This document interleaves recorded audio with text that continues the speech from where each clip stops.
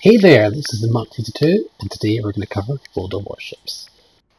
So I'm going to be covering these uh, new Italian cruisers, World Warships Legends. We're going to look at the builds, the guns, the armour and how to get the most out of these ships that you're going to play.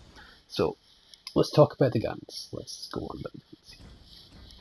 Now, these are four double-barreled 152mm. AP damage on this tier, nothing special, just the base. Um, 13, 13.4 second reload, quite a big reload. but these guns, I don't know, these Italian guns, they hit very hard. They have immense penetration values. As a result of these overpenning guns, you actually have the skill called subtle manipulations, which is quite funny, the icon, but there we go. to that. Um, it boosts your AP shell damage, always nice, just like Punch Through does. Uh, very similar, 5%, 5%, so very good. Um, it reduces the time of your detonation of your AP shells by 90%.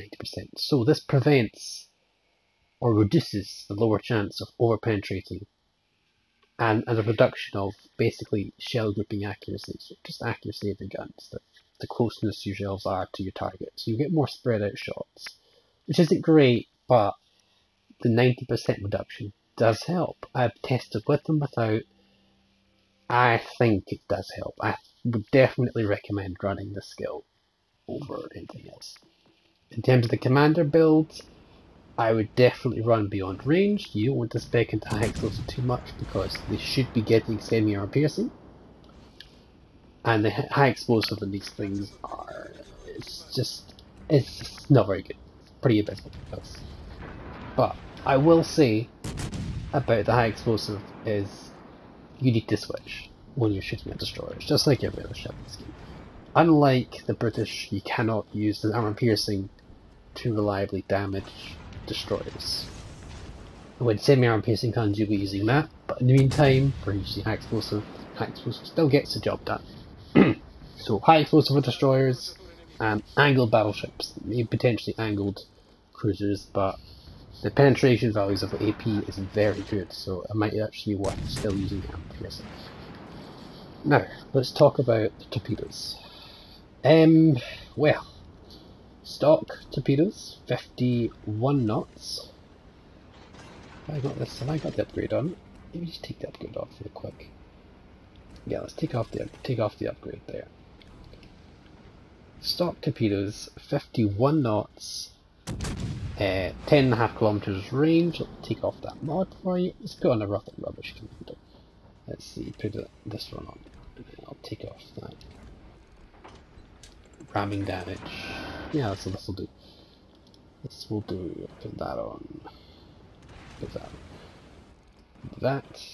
There we go. Just something that I'll never notice the difference, you know. Just for pure building into this. Take a look. Look at that. Torpedoes. 10 kilometer range, 51 knots, 1 kilometer detectability, very stealthy torps, but they go unbelievably slow. Good thing is though, these things reloads relatively quick for torpedoes, and you've got two on each side. 84 seconds. the embers are pretty quick. 106 seconds. 70 seconds. These are all down to way down to 55 seconds. So you can fire a lot. So predictive torping is your best bet. Uh, if you don't fire them, you never get potential damage out of it. You never know what you might hit. Definitely send them down corridors. Predictive torping is what you have to do with these boats because if you're aiming where they're going to be, it takes a whole. It can take a whole minute for them to actually reach their target. So it's probably going to miss. So unless you have a very, very, shall I say, straight lineth player who just refuses to change course for a whole minute, then these torps are not going to be used normally. You'd have to do some predictive torping. You have to think about how you're going to torp. The indicator is not going to help you as much as any other ships would. You can brawl with these ships, but only two torpedoes can limit how much you actually want to do. You gotta be careful. Definitely gotta be careful. They do provide uh, 10 kilometers range, and if you buff up my with my current build, yeah, let's talk about the speed of these things, um, and, and you know, talk about the agility. So these ships are got good speed, very good speed, very good rudder shift, very turn, very good turning circle. These are very agile ships.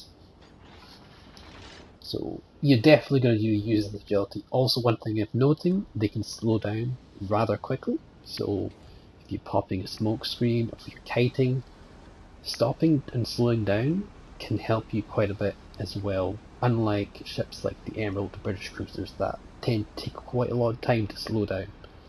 I don't know what the Italians have to make them slow, their ships slow down faster, but I'm not complaining. It's quite nice. So, uh, one thing to note as well, no sonar.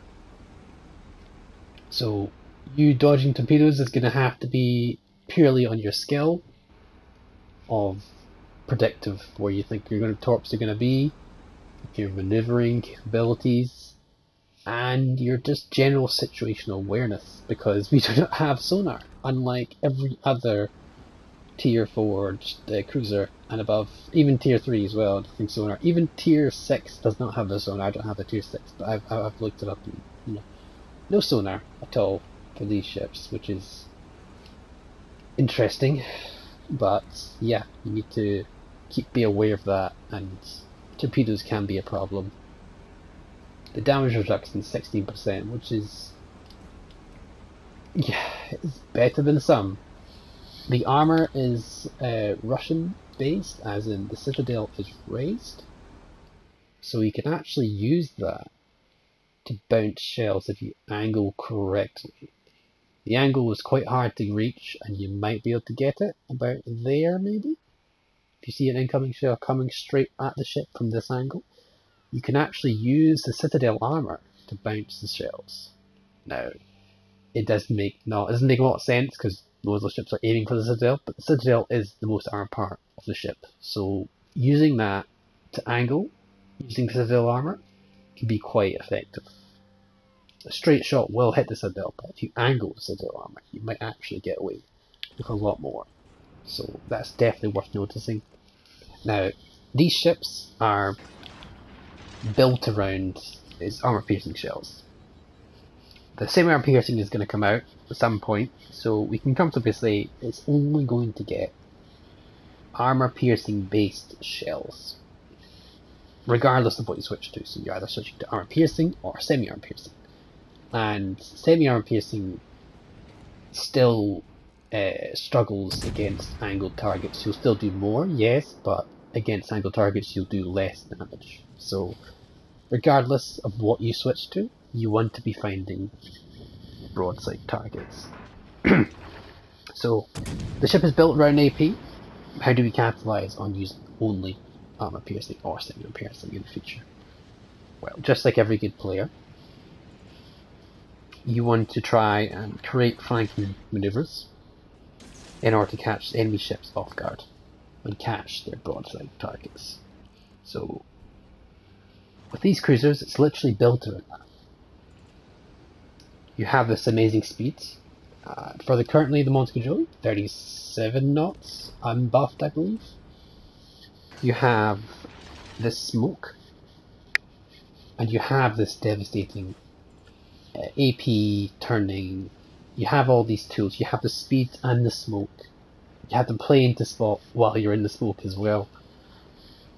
You have these opportunities to go round to enemy flank pepper them with AP. Either uh, smoke up and farm a little bit, or smoke up and run away, or simply stop firing. Because your concealment, I have this buff by the way, without, even without a camel, is 9.1. If I add a camel real quick, just add something basic, this will do. 8.7. And the firing smoke penalty, 4.2. That's pretty extreme. You have superior stealth, agility, and speed over your cruiser counterparts, and even some destroyers. So you can either use that speed to run away, pursue your targets, or kite away from the enemy. Speeding concealment allow this ship to shine as well as its devastating AP to be used to good effect. Now, as you see here in this game, I've got myself a bit of predicament fighting the last remaining three ships, but I'm using the smoke screen to hide myself from the Guépard. I don't have sonar, so I need to be careful about these torpedoes. I know they're coming, so I'm doing my best to use my agility, use my speed, and use my smoke screen to full effect. Notice I'm still switching the AP. I've gotta keep using the AP because it is very devastating. Luckily for me, Guépard torpedoes run out of gas, or it could have been the Omaha torpedoes. Omaha's given me a relative broadside. Let's send him packing as well. This is that Italian AP. When you get to use that AP, it's absolutely wonderful. Got three seconds left on my AP. I might as well send it towards the Guépard way. Then I'll switch, because that this reload is significantly long, even AP is better. Oddly enough, I actually bounced. So, quite funny, but there we go. Uh, switching back to HE for the destroyer, as I should. Alright, now, this is very close brawling range. You've got to be careful about where I send these torpedoes. I have to make sure they are not going to miss. So, very close, and okay. I know he's going to kill me, and that's okay, because I got him. That's my tracking, devastating strike, that's my high caliber. What you saw that whole game is me going around the flank, shooting broadside targets, getting citadels, 10 citadels that match, 62,000. You can see the effect of how you play these ships. So, borderline 16, 63,000, 10 citadels, 5 kills, Kraken, devastating strike, high caliber, and you saw what happened at the end there, the effect of the AP on those broadsides. When you play the ship to its strengths, you could see how well it can perform, and this, is, as this isn't even the best game you can get. This is just my most successful game at the minute, but I'm still working on more. I hope this helps uh, you get to grips with the Italian cruisers and hope you enjoyed the video. Please leave like and subscribe. I'll see you next time.